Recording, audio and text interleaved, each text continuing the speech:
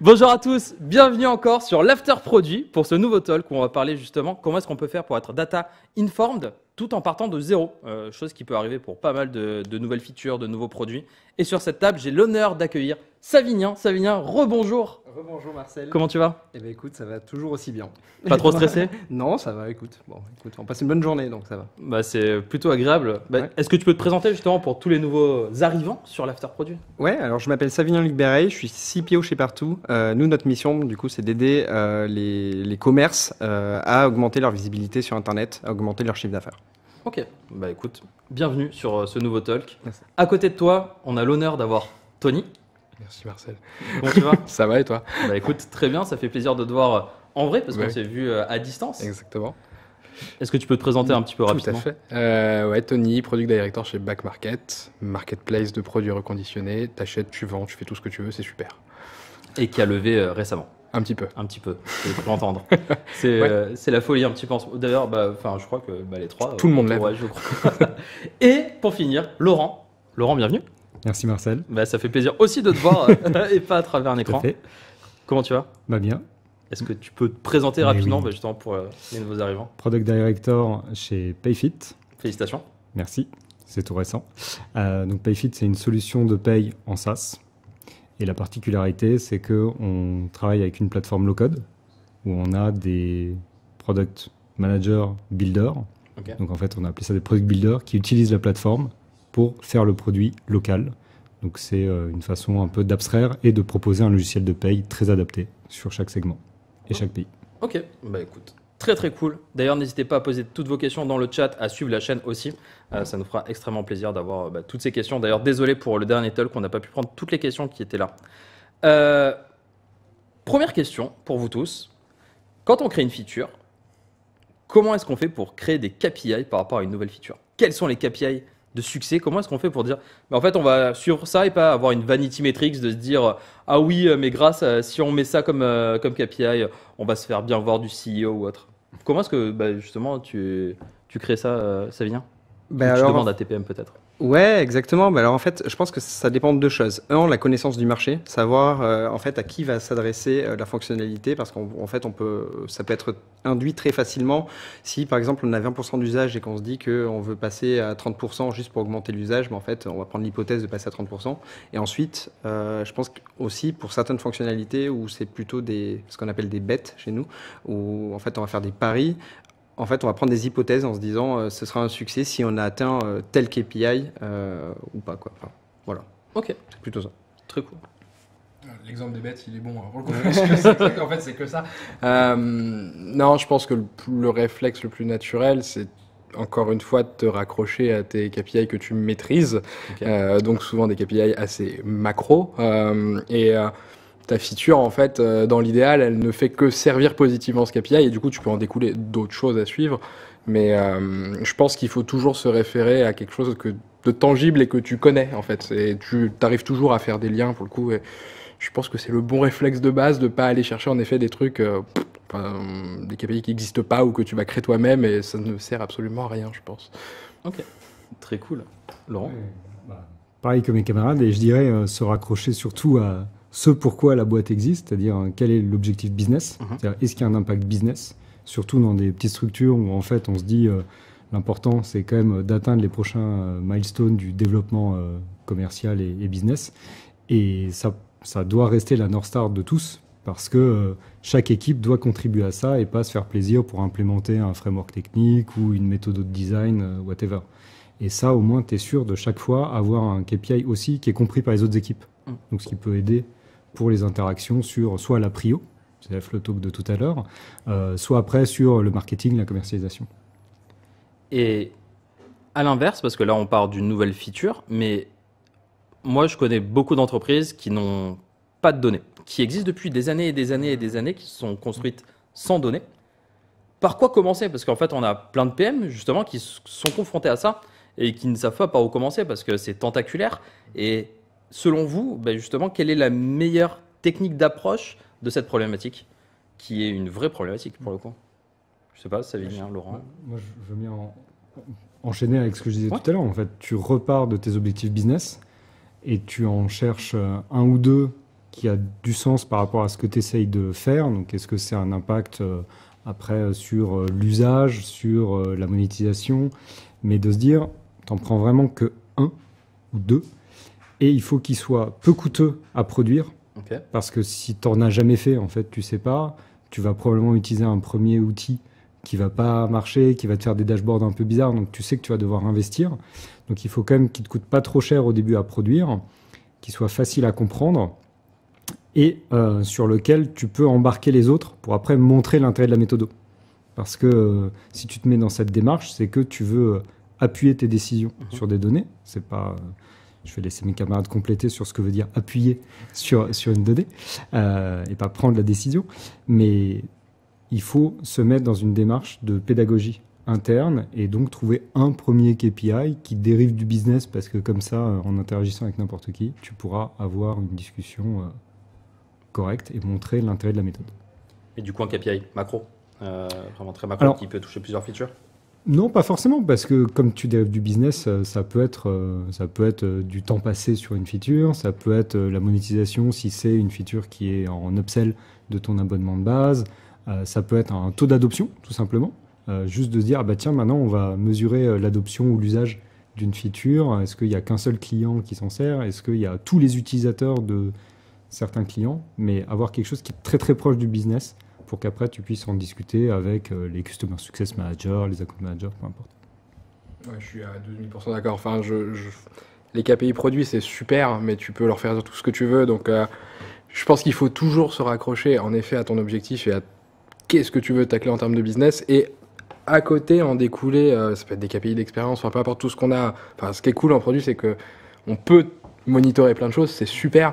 Mais euh, ouais, toujours baquer les deux et vraiment prendre le plus simple. Enfin, c'est déjà super d'être capable de monitorer euh, l'incrément que ta feature va avoir sur du CVR, sur, euh, je sais pas, ton taux d'abandon panier. Enfin, vraiment des trucs euh, que tu peux quand même avoir assez basiquement. Alors, quand tu pars de zéro, c'est c'est jamais basique. C'est pour ça. C'est jamais basique, mais euh, ne serait-ce que regarder un, un trafic ou euh, un bounce rate, c'est des choses qui sont plus accessibles qu'aller commencer à taper de l'incrément ou des choses comme ça. Donc, vraiment rester euh, bas de plafond et en effet toujours lié au business, sinon ça n'a pas de sens pour moi.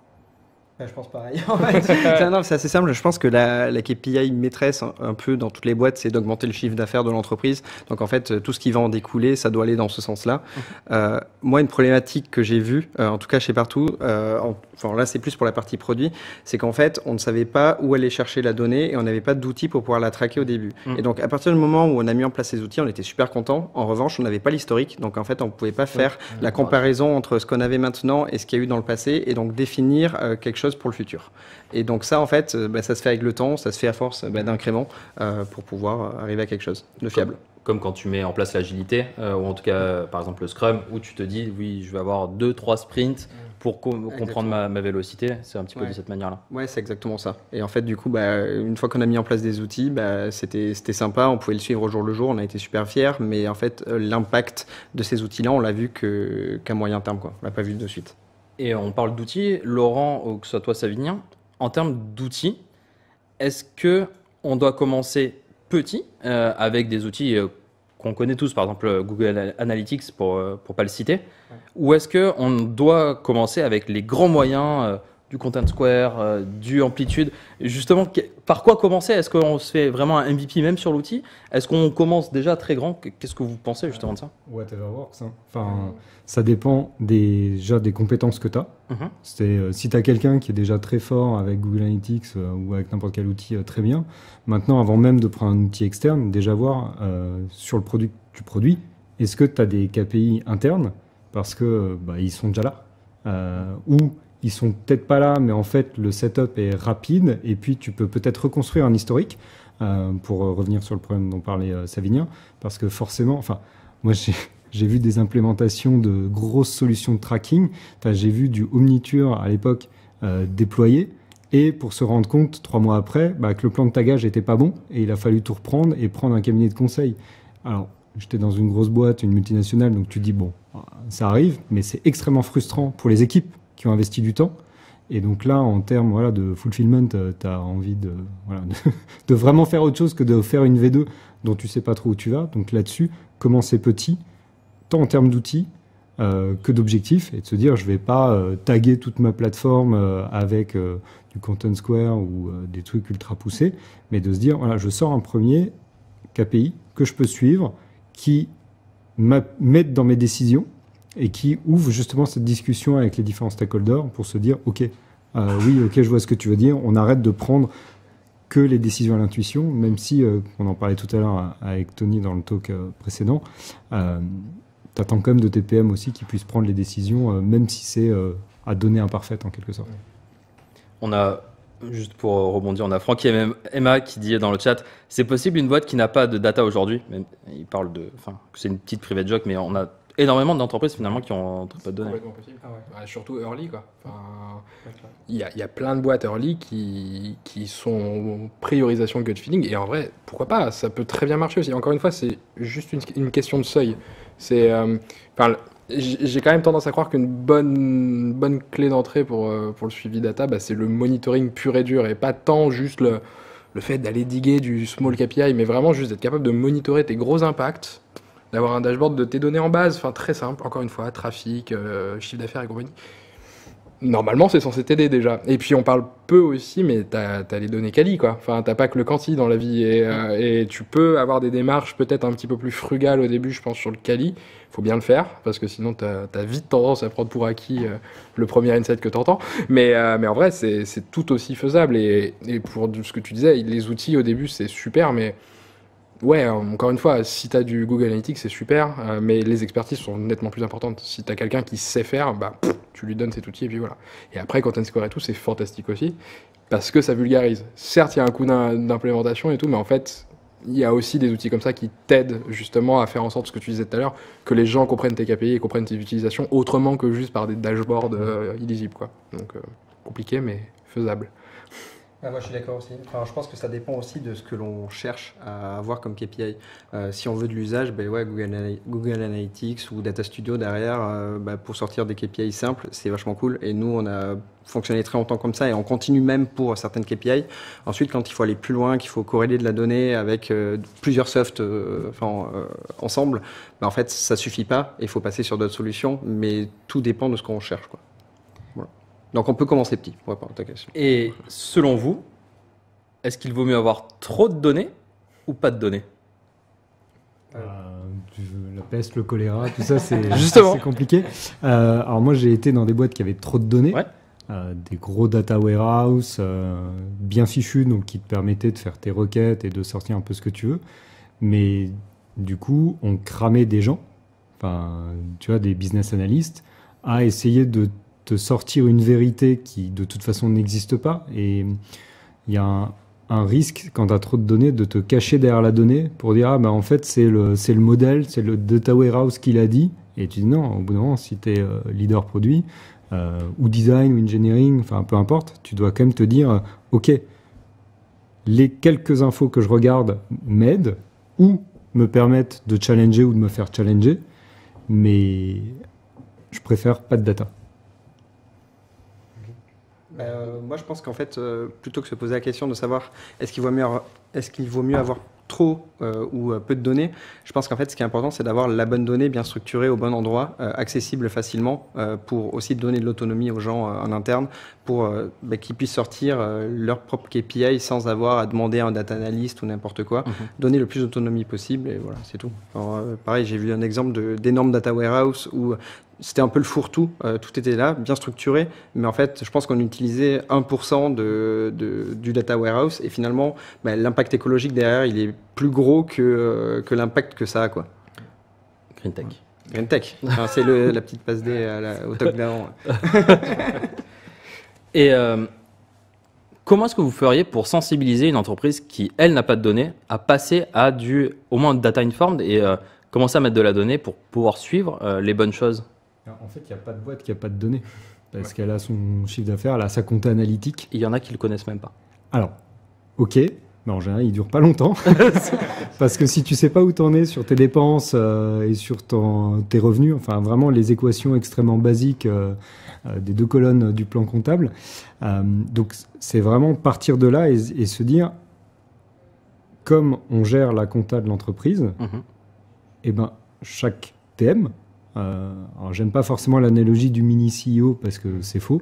Euh, T'as pas la main sur tes vrais invests et compagnie, mais quand même, tu portes la responsabilité d'une entité, d'un groupe de fonctionnalités et de personnes, et ben de te dire, c'est ta responsabilité de prendre des décisions qui vont dans le bon sens. Alors, ok, au gut feeling, tu peux en avoir un paquet, surtout au début, le temps de trouver ton product market fit et compagnie, mais de se dire comment tu prends tes décisions ou comment tu peux, après, vis-à-vis de ton équipe de leadership, montrer que, euh, euh, voilà, ok, tu savais pas s'il fallait aller à gauche ou à droite, là, tu as regardé, tu avais quand même des indices pour te dire, je vais plutôt aller à droite, et euh, là-dessus, le présenter justement avant de sauter face à la balle qui arrive quand tu es dans la cage, et de pouvoir dire, voilà, moi, c'était peut-être pas parfait, mais au moins là-dessus, la décision, elle a un bout de rationnel euh, qui dérive du business, euh, parce que sinon, après, tu es dans une boîte qui a pas de data, ou en tout cas qui prend pas les décisions dessus, ça devient euh, le highest paid person opinion. Euh, et, et donc, c'est ce fameux truc chez les Américains, in God we trust, all other people must come with data. Donc, on croit en Dieu et tous les autres doivent venir avec des données pour justement engager une discussion qui a du sens. Parce que sinon, c'est je pense que, je pense que. Donc, euh, moi, le conseil que je ferais, c'est prenez n'importe quelle donnée qui dérive du business et pour dire un peu ce que disait Tony, bon, bah voilà, en fait, là, j'ai un impact. Euh, je fais pas de la mesure d'incrément parce que je sais même pas ce que c'est. Euh, donc, du coup, j'ai vraiment un chiffre d'affaires qui a augmenté ou mes coûts qui ont diminué. Diminué. Ça, en général, c'est le meilleur exemple hein, de dire j'ai eu un impact positif sur les coûts. Il y a un truc que plein de gens euh, oublient, je pense, early, c'est que la data, en fait, c'est un produit. euh, et qu'en fait, elle doit être honnée, au même titre que n'importe quel produit. Et en fait, quand tu comprends ça, et j'ai mis beaucoup de temps à le comprendre pour être très franc, ça te. Pouf, ça ouvre plein de trucs. Parce que bah, tu vas avoir des personnes qui vont dire Ok, la data qu'on va suivre, c'est ça, les calculs, c'est ça, c'est normé de telle façon, etc. Et là, t'enlèves plein de problématiques de, bah, de subjectivité autour des chiffres. Quoi. Et en fait, ouais, je. Je pense qu'un bon conseil, c'est de te dire très vite, en fait, ta data, c'est un produit, mais limite un PM ou peu importe, mais mets quelqu'un qui va honner ce truc, qui va la normaliser d'un point de vue de la boîte, et qui va expliquer aux gens comment l'utiliser. Et à partir de là, tu, normalement, tu t'ouvres un peu de porte quand même, parce que tu bah, t'enlèves encore une fois de la complexité. Quoi. Et euh, vous, quand euh, vous créez une feature, euh, ou en tout cas quand vos PM créent une feature, est-ce que naturellement, ils pensent à quel est l'impact que je vais avoir en termes de données ou pas? Alors moi, nous, c'était pas le cas euh, au début. En fait, c'est quelque chose qu'on a mis en place petit à petit, qui est devenu euh, finalement euh, un réflexe à avoir à chaque fois que l'on va creuser un problème. On va essayer de trouver enfin, au mieux possible de la donnée euh, pour soit valider une hypothèse, soit l'invalider, euh, et ensuite derrière pour pouvoir trouver des solutions. Et en fait, c'est beaucoup plus facile une fois qu'on a fait tout ce travail au préalable euh, de recherche de données, de pouvoir fixer des objectifs euh, à suivre et surtout à traquer derrière. Enfin, nous, ce qu'on met en place, c'est des dashboards à chaque fois avec euh, la KPI de départ et la KPI d'objectif euh, à atteindre, et on valide comme ça si c'est un succès ou un échec. Obligatoire. Bah, c'est encore une fois, c'est encore. T'es un peu plus mature dans ton cycle, mais c'est- Ah, il y a un moment où tu as envie quand même d'avoir du tangible et du tangible rapidement, quoi. Euh, parce qu'il y a quand même un truc dans le produit qui est fondamental, c'est de se dire, ok, si j'ai fait une erreur, je step back et je refais, quoi. Et en fait, ça, tu peux le faire que si tu sais ce que tu dois suivre. Et ça, il faut le savoir dès le début. On en reparle depuis tout à l'heure, mais le calcul d'incrément, c'est un outil super. et il faut y aller, mais déjà être capable de se dire, ok, je sais que je vais tacler telle partie de mon produit, donc je sais que je peux regarder ce chiffre et voir comment il évolue. C'est déjà super. Et après, en complément, il y a aussi les chiffres vraiment autour des euh, ressources, parce que malgré tout, euh, c'est de l'investissement pour l'entreprise. Mm. Et tu es obligé d'avoir déjà un minimum de data là-dessus, à la fois pour convaincre, euh, parce que tu parlais des frameworks agiles tout à l'heure. En général, le deal que tu fais quand tu mets en place un framework agile, c'est que tu demandes à l'équipe de leadership de te laisser un peu les clés du camion. Par contre, euh, à toi d'être responsable et de montrer ce Mm. que tu as. Et c'est pas tant pour dire ok ça coûte pas trop cher, mais c'est surtout après pour prioriser parce que bah, tu as toujours euh, idée infinie contre ressources finies. Et moi j'encourage vraiment à faire attention aux coûts d'opportunité parce que bah, quand tu travailles sur A, tu travailles pas sur B ou C. Et, et du coup, est-ce que tu es capable de mesurer ça? Et, et c'est là où justement c'est à la fois ressources et impact business parce que c'est aussi un bon moyen de réaplanir la discussion en disant ok on va faire A par Mhm. contre est-ce que tout le monde est ok avec le fait de ne pas faire B? Et c'est là où en général chez les stakeholders ah oui mais quand même euh, Et parce que c'est facile de tirer sur l'ambulance, hein, comme m'avait dit un CTO à une époque, euh, quand tu es dans, dans la salle des machines, tu as toujours tort, parce que bah, y a que toi qui mets du charbon dans la machine, et après on va dire Ah, mais on n'était pas allé là où on voulait. Oui, mais tu es quand même content d'être arrivé là où on va, parce que, et c'est là où d'avoir un dashboard, euh, voilà, c'est toujours dire, c'était pas une idée euh, du PM euh, qui s'est levé un matin en disant on va faire ça. Il y a quand même eu un minimum de contexte de décision appuyé sur quelques données, alors qui étaient peut-être parcellaires, mais au moins on avait quelque chose. On a une question qui nous est remontée du chat de Maeva, Ago qui te pose une question à toi, Laurent. C'est, on te cite. Que veux-tu dire par vous vous êtes planté dans le plan de tagage Qu'est-ce qui t'a mis la puce à l'oreille et qu'est-ce qui n'a pas fonctionné? Et comment est-ce que vous avez pu rectifier le tir? Alors, on s'était planté dans le plan de tagage parce que les agrégats qu'on sortait euh, n'avaient pas de sens, c'est-à-dire que la définition des périmètres pour dire OK, euh, ces pages-là vont dans et ces écrans-là vont dans tel ensemble logique pour justement mesurer une performance business. Mhm.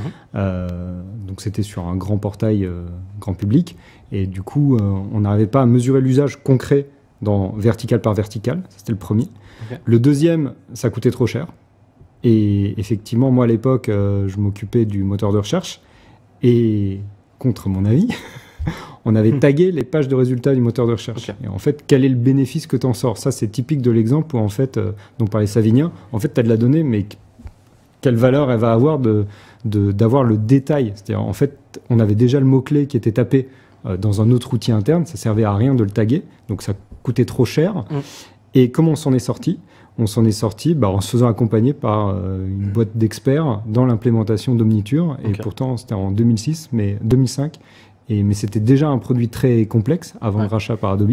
Et donc, on avait pris des consultants allemands, euh, voilà, parce que euh, rigueur, qualité, et ça nous a recoûté cher. Mais à l'arrivée, au moins, on avait un plan de tagage qui avait du sens parce que justement, les outils experts, ça peut te sortir des trucs super, mais t'as pas droit à l'erreur. Là où justement, euh, bah, avec tes outils internes, déjà, tu as potentiellement plus droit à l'erreur parce que tu peux retraiter tes propres données. Mm. Et, euh, ou des outils bien connus sur le marché comme Google Analytics parce que, bah, comme euh, le disaient mes compères, tu as forcément quelqu'un dans ton équipe qui a un bout d'expertise et qui te fera au moins la, la première step. On a une question encore dans, du chat de Capirouette qui dit sur le quanti, que pensez-vous d'outils de product analytics type HIP? Versus un analytics plus orienté acquisition que conversion Alors veux là, répondre je ne peux pas te répondre. Non, Je ne connais pas moi non plus. Du coup, on, on- on va passer à, à la dernière question. la première, Désolé, la-. Euh, malheureusement, on ne pourra pas répondre à ta question. Si vous deviez donner un tips chacun à des PM euh, qui sont dans une situation bah, justement où il n'y a pas de data, qu'est-ce que ce serait vraiment Là, c'est appuie sur ça, fonce là-dessus parce que c'est ça qui paiera. Voilà. Mode tout simple, discute avec le stakeholder principal. Donc, est-ce que c'est le founder parce que c'est une petite boîte? Est-ce que c'est le responsable de la business unit? Mais de dire, en fait, dans les discussions de prio, d'arbitrage, qu'est-ce qui manque? Enfin, quel est le KPI qui donnerait le, tout de suite un éclairage? Et d'en trouver un, mais qui soit vraiment accepté par tout le monde pour justement démarrer tout ce travail de, de pédagogie dont on parlait. Moi, je pense que je vais être un peu plus cash. C'est que je pense qu'en fait, si on se pose la question de euh, on n'a pas la donnée, etc., enfin, je pense que naturellement, une personne qui en a besoin va la trouver, peu importe le format, elle va aller la chercher. C'est peut-être manuel, elle va remplir des fichiers Excel, j'en sais rien. Mais en fait, derrière, elle pourra l'utiliser. Mhm. Euh, je pense juste qu'il faut euh, bah, se poser la question au bon moment, à savoir est-ce que j'ai besoin d'avoir de la donnée ou pas? Si j'en ai besoin, bah, en fait, essayer n'importe quoi pour euh, y arriver. Et on y arrive toujours. Même faire du SQL pour aller chercher dans Ouais. la base de données. En fait, ou dans très rapidement. En fait, quand, tu as besoin de quelque chose, tu le trouves et tu y arrives facilement. Quoi. Quand tu veux, tu peux, c'est ça. Et c'est ça. On est euh, shonen. Ouais, très shonen ici. J'allais dire la même chose. J'allais dire le meilleur, le meilleur conseil, c'est trouve là. en fait, va chercher ce que tu peux trouver. Et en effet, même si c'est très approximatif, c'est déjà un début et tu construiras un truc plus sérieux après. Quoi. Mais tu as toujours quelque chose. Et c'est mieux que rien. Exactement. C'est mieux que rien. en tout cas, vous avez été tous euh, très raccords quand même Bah sur, ouais. euh, sur vos positions sur la donnée, ce qui est. Ouais, ça manquait de conflit. Non, mais euh, moi je voulais du sang. On m'avait dit euh, tout le monde va, va se tirer dessus, mais en fait finalement euh, tout, euh, tout se passe bien. Bah écoutez, merci infiniment euh, du Merci coup toi, pour, euh, ce, ce talk. On se retrouve euh, du coup sur euh, tac Quelle posture adopter face à des personnes réfractaires au changement euh, d'ici quelques minutes? Merci infiniment de, nous avoir suivis pour, pour, ce talk et merci à vous. Merci à tous. Salut, merci.